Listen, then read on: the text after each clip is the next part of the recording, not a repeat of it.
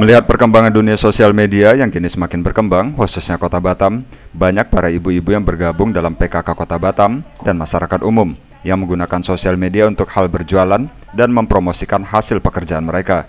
Dengan melihat perkembangan sosial media dengan berbisnis, Yayasan Sunan Adijaya dan Tiara Kusuma bekerja sama dengan pemberdayaan perempuan Kepri menggelar acara seminar kewirausahaan dengan tema Hobi Menjadi Rezeki yang bertujuan untuk merubah mindset ibu-ibu yang memiliki hobi dalam kewirausahaan, baik dalam usaha kuliner, makeup, dan lainnya, dapat mengeksplor atau memperkaya ilmu di seminar tersebut.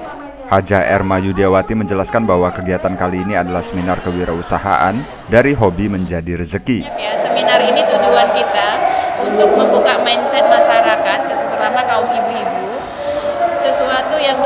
kerjakan, yang hobi-hobi yang kita senengin, baik dari kuliner, baik dari mungkin menjahit, yang kecantikan, bidang pertanian, kalau kita tekunin hal-hal kecil itu, kita terus belajar, insya Allah itu pasti akan menjadi rezeki. Dalam acara seminar tersebut, Tiara Kusuma mengundang Ibu Wali Kota Batam, yaitu Marlin Agustina, untuk hadir membuka dan meresmikan acara seminar kewirausahaan di Kota Batam.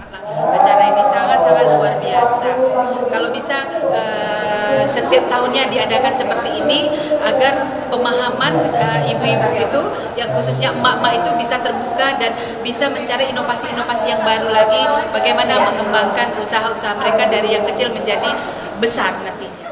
Marlin Agustina selaku Ibu Wali Kota Batam sekaligus Ketua PKK Kota Batam sangat mendukung kegiatan seminar kewirausahaan yang dilaksanakan oleh Yayasan Sunan Adijaya dan Tiara Kusuma. Dalam kesempatan tersebut, Marlin Agustina berterima kasih kepada seluruh masyarakat Kota Batam, khususnya kaum ibu-ibu yang telah tergabung dalam tim PKK Kota Batam.